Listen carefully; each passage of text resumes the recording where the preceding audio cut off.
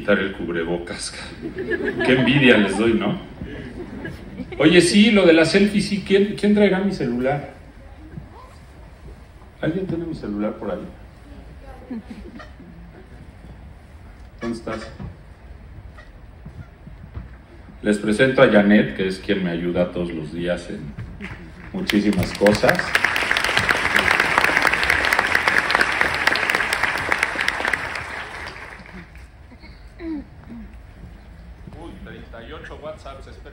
Hace dos años, estar en un, en un evento así en vivo, eh, me ha tocado dar muchas pláticas por Zoom, por, por diferentes redes, por todos lados, pero no saben qué, qué padre se siente. Y es que la, la, energía de tenerlos aquí, la energía de estar enfrente de ustedes, la energía de poderlos ver a los ojos. Hijo, sí, sí lo extrañaba muy cañón, porque lo, lo frío que puede ser una pantalla y el calor que te da en el corazón tenerlos aquí es, es de veras otra cosa. Y, y sí, vamos a darnos un aplauso porque aquí estamos, uno durísimo, venga. Llegaban sin hablar ni siquiera el idioma, sin un peso en la bolsa, y este país los recibió con los brazos abiertos y les dio un hogar. Es más, ni debería decirles, pero la tumba de mi abuelo paterno, lo que él pidió que dijera fue, gracias México por recibirme como en mi casa. Y yo también, mi querido Pablito, amo, amo este país locamente y por eso es que me emociona tanto estar aquí, porque pues yo alguna vez estuve, iba a decir ahí como sentado en el lugar de ustedes, pero no porque yo era malísimo para la escuela. Entonces nunca, nunca pude estar sentado en el lugar de ustedes, pero sí, sí estuve en su lugar en muchos aspectos. Estuve en su lugar porque tenía su edad. Estuve en su lugar porque tenía, tenía y sigo teniendo mil sueños. Estuve en su lugar porque me quería comer al mundo completito. Eh, estuve en su lugar en muchos aspectos. Y sé, claramente sé, quiénes son los que pueden hacer la diferencia en este país. Sé claramente que en qué manos estamos. Y por eso cuando me preguntan, oye, ¿te vas a quedar? Pues claro que, claro que me voy a quedar y claro que nunca voy a ir de aquí. Porque están ustedes. Porque están esas cabezas, esos corazones, esas mentes que sé que van a hacer de este país un mejor país. No tengo la menor duda. O sea, no tengo la menor duda. Y, y como decía Pablito, la verdad es que van a aprender mucho de cada uno de ustedes, van a aprender mucho ustedes mismos. Fíjense que muchas, muchas veces me preguntan por las redes, no sé, no sé por qué a mí, ¿no? Pero me preguntan, Arturo, ¿y si fueras yo, chavos de su edad, ¿no? ¿Y si fueras yo, en qué invertirías? Pues no sé por qué me preguntan a mí, pero bueno. Este, y entonces siempre esperan la respuesta de que les diga, no, métete a la bolsa de Nueva York, inviértete en Tesla unos dolaritos y, o compra Bitcoin y Ethereum o compra, ya sabes, siempre esperan, siempre esperan una respuesta así muy concreta. Pues obvio, si la supiera, pues ya este, el ingeniero Slim ya no sería mi jefe, ¿no? Y obviamente no, no, sé, no sé esa respuesta en qué invertir así tan, tan tajante, pero lo que, los, lo que sí les contesto es que la mejor inversión, sin duda, para cada uno de ustedes, en qué deben invertir hoy, y no tengan duda, es en ustedes mismos.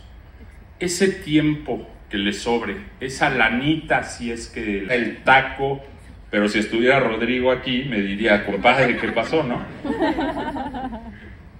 ¿Quién come como Rodrigo aquí? Sí, eres súper sana. Muy bien, pero eres la única. Sí, neta, nadie come así súper sano. ¿Tú también, carnal? Allá arriba. ¿Quién come como yo, que es el rey del gancito, el taco, la torta? Qué mal, ¿eh? eh la oficina, si alguien trabaja y creen que es alguien fregón, traten de acercársele a gente que les pueda aportar algo. Siempre eh, encontrar un buen mentor hace una gran, gran, gran diferencia en sus vidas. Traten de encontrar a ese mentor porque siempre, siempre vale la pena. Y como decía Vane, no solo son los estudios de la carrera, métanse de lleno a cosas que les apasionen, lean, busquen webinars, videos, eh, conferencias, de las cosas que realmente les gusta. Eh, yo siempre me imaginé a mis hijos super deportistas, este, jugando fútbol y tenis y no sé qué, no sé qué, como yo. Y este, y el chilaquil, que es mi hijo chico, que, que sí es súper deportista, además es buenísimo el güey para el fútbol y para el tenis y para todo. Pero ahora le entró el rollo de la astronomía. Y digo, es que tú no eres mi hijo, güey, eres un nerd, güey. Y este, pero está clavadísimo y estoy encantado porque al chavo le apasiona el tema de la astronomía y se consiguió un profesor que le da una clase a la semana por Zoom de astronomía. Y se está leyendo seis libros de astronomía y va y se compró su telescopio y ve, no sé, o sea, trae el tema. Entonces, no solo lo que todos van a estudiar igual, sino qué te apasiona a ti en particular y métete, métete de lleno. Y esa es otra gran inversión, ¿no? La de tu mente, pero la de tu mente en, en todos esos sentidos. Y la última que les recomiendo, pues obviamente hay que darle de comer aquí, al corazoncito hay que darle de comer al alma. Y ahí sí, cada quien, ¿no? Cada quien hágalo como crea que sea mejor. Yo, eh, yo, y esto es muy personal y se los digo, yo soy devoto de la Virgencita de Guadalupe y yo estoy eh, que me lleva la fregada y voy y me linco a la Virgencita y le pido y me quedo ahí, me puedo quedar horas, ¿sabes? Eh, yo creo que todos hemos tenido momentos difíciles. A ver, levánteme la mano quien no haya tenido un, tenido un momento muy cañón este año. De, duro, así. o sea, todos sí. Alguien que haya tenido un momento muy, muy, muy difícil este año. Pues, ¿qué creen que sí se vale? Se vale caerse, tirarse, porque hemos vivido cosas muy cañonas. Déjenme confesarles que, que yo hubieron días en la pandemia que me salía ahí al jardincito de mi casa para que no me vieran mis hijos y me sentaba y me ponía a llorar. Yo, el pinche tiburón, ¿no? Pues sí, pues sí, porque me dolía, porque me dolía muy cañón no poder hacer nada o, nada más por los demás. Me dolía muy cañón saber cuánta gente se estaba muriendo, me dolía muy cañón y sentía una impotencia enorme de no poder salvar más vidas, ¿sabes? Y mira que me tocó negociar traer la vacuna este, de AstraZeneca a tiempo a México y mira que me tocó estar metido en el tema de, del centro Banamex donde montamos 700 eh, camas y que gracias a eso no colapsó los hospitales de la Ciudad de México. Y mira que me tocó hacer varias cosas. Y habían días que me tiraba literal en el jardín a llorar, así solito, llorando, llorando, no crean que es un decir, este, y, y en esos momentos es cuando dices, ah, qué duro. Pero también en esos momentos es cuando dices, pero me tengo que levantar. Me tengo que levantar por mí, porque ahí están mis hijos y mi esposa, porque ahí está mi sociedad, porque puedo hacer mucho más, porque puedo hacer por mí, por ellos y por los demás, porque tengo que echarme para atrás, tomar vuelito y vámonos, vámonos para adelante. Porque no me puedo quedar tirado. ¿Y qué crees? Se vale quedarte tirado 10 minutos o 3 días, no importa. No importa, cada quien. Y cada quien le va a costar más trabajo levantarse a algunos y menos trabajo a otros. No importa cuánto tiempo sea, cuánto tiempo te quedes ahí tirado en el jardín llorando. Lo que sí importa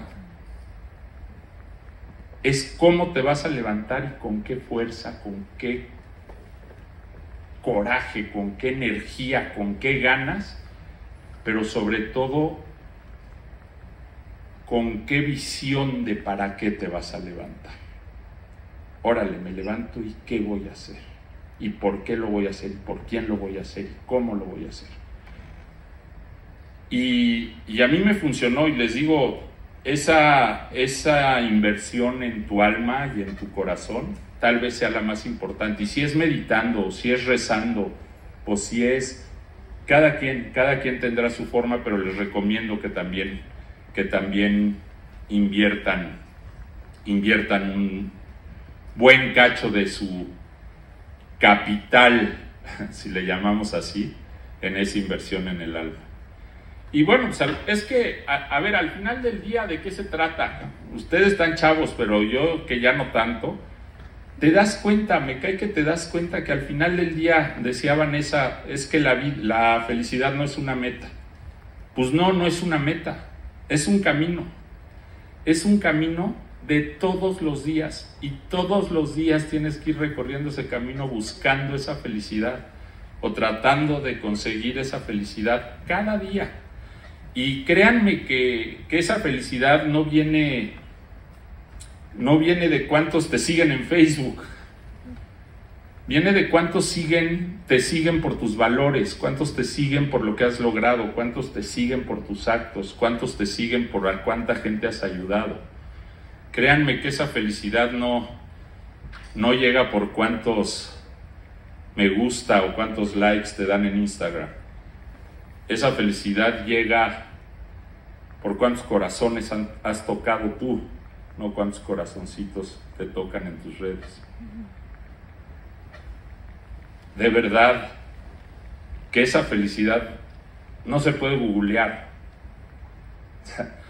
No puedes poner en Google, quiero ser feliz, ¿qué hago? Esa felicidad la tienes que encontrar adentro de tu corazón la tienes que encontrar adentro de tu alma, pero la tienes que trabajar todos los días. Déjenme decirles a mí cuál es la forma que más o que mejor me ha funcionado para trabajar esa felicidad a mí. Cada vez que puedo hacer algo por los demás, se me llena esa valvulita en el corazón. Y cada quien, cada quien tendrá su forma de, de encontrarla. Y por eso yo eh, hoy lo único que les quiero pedir y les quiero desear de corazón es que ese camino de todos los días vayan encontrando esa felicidad y desearles de todo, todo, todo corazón y con toda mi alma que todos los días de su vida sean muy, muy felices. Muchísimas gracias.